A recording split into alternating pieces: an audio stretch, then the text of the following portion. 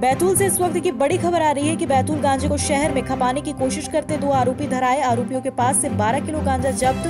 गंज police ने अर्जुन नगर से किया गिरफ़्तार। गिरफ़्तार आरोपी शहर पंडिताई का कार्य करते हैं। दोनों आरोपी उत्तर प्रदेश के रहने वाले। गांजे की तस्करी करते पहले भी हो चुके हैं गिरफ़्तार। पुलिस ने एनडीपी एस एक्ट में की कार्रवाई। गंज थाने क्षेत्र के अर्जुन नगर का ये पूरा मामला।